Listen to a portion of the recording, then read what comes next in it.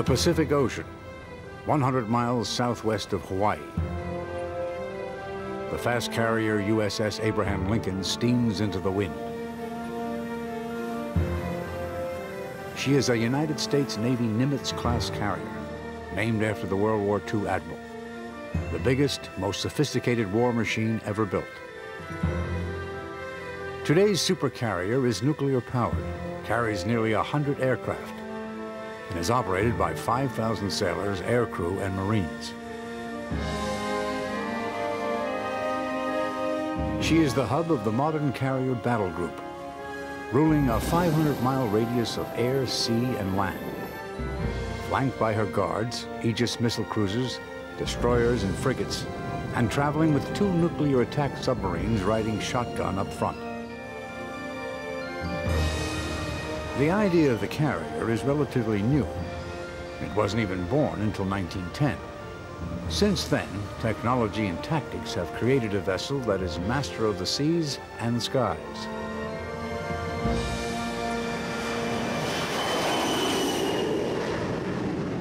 It was a day of infamy that helped make it so.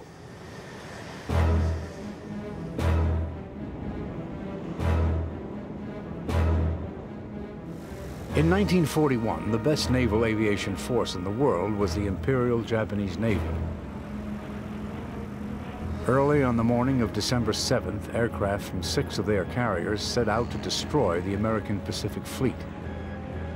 And in doing so, sank the battleship Navy forever.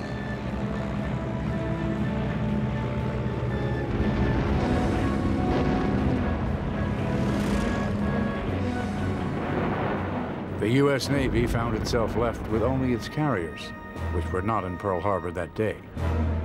A new kind of war at sea had arrived.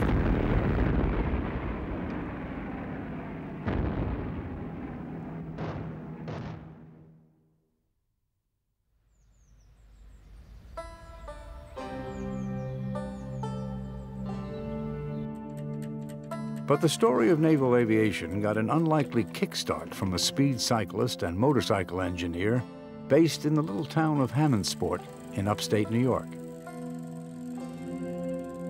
His name? Glenn Curtiss. Curtiss was a motorcycle racer. And so he was always striving for a better engine. Curtiss tried to uh, improve the power to weight ratio constantly getting more power for less weight. And that was exactly what you wanted if you were trying to fly back in those days.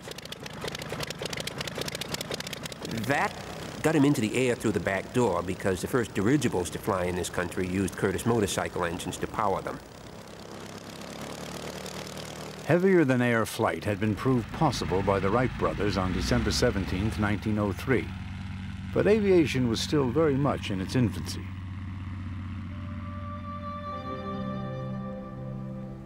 Glenn Curtiss made the first flight outside the Wright camp over Keuka Lake in Pleasant Valley, New York on March 12, 1908.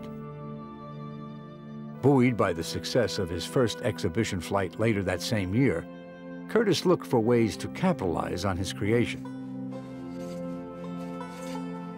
The U.S. Army had already bought an, a Wright airplane in 1909, so Curtiss set his sights on the Navy and tried to develop ways in which the airplane could be useful to the Navy.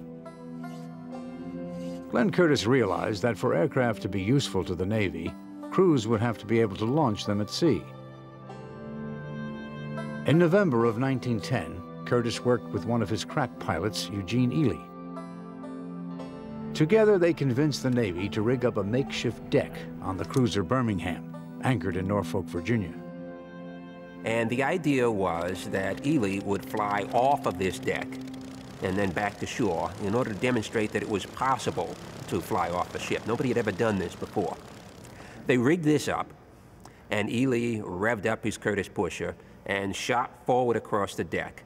And when he came off the deck, he fell toward the surface of the sea. Now, the reason for this was he didn't have enough speed to get airspeed. Ely actually did hit the surface and skipped and bounced off it. And it must have been a kind of scary experience for him because he damaged his rudder, He damaged his propeller, he soaked his clothes, and he caked over his goggles with spray. Well, the Navy was very interested in the fact that he could fly off a ship, but pointed out that, of course, that was an incomplete progression. To complete the progression, Ely joined Curtiss on the west coast, where they rigged up another makeshift deck, this time on the armored cruiser Pennsylvania.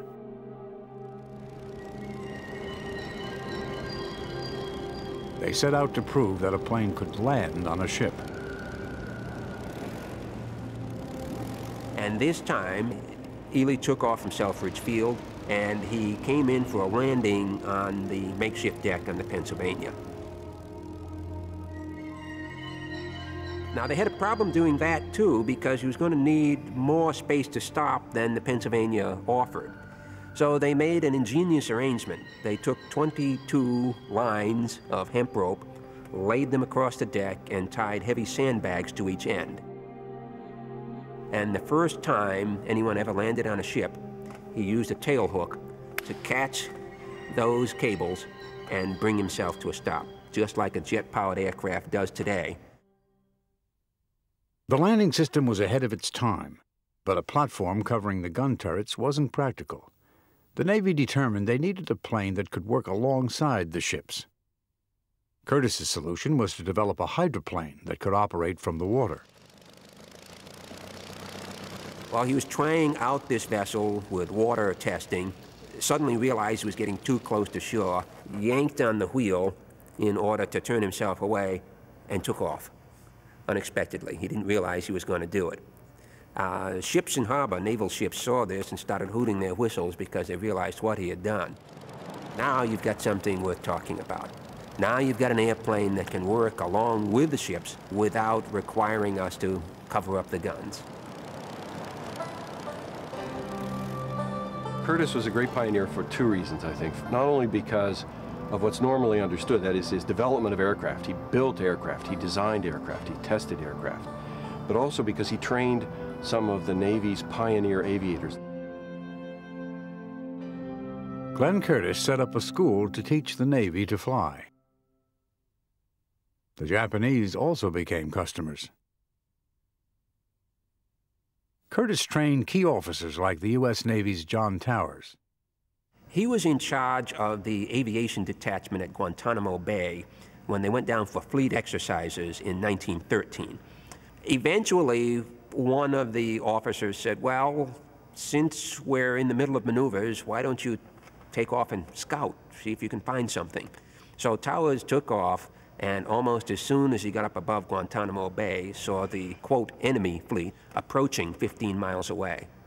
So, right at the very beginning of the career of submarines, and right at the very beginning of the career of dreadnought type vessels, all of a sudden, this tiny, fragile, inexpensive aeroplane uh, was proving that they would not be able to dominate the seas. Neither one of them would be able to dominate the seas. And Glenn Curtiss himself had written in the Saturday Evening Post in 1910 when an airplane costing a few thousand dollars can sink a battleship costing a million dollars, there will be some change in the composition of navies.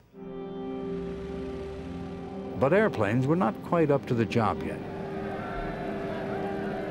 The skies were dominated by self-propelled dirigible balloons called Zeppelins, named for their inventor, a Prussian count.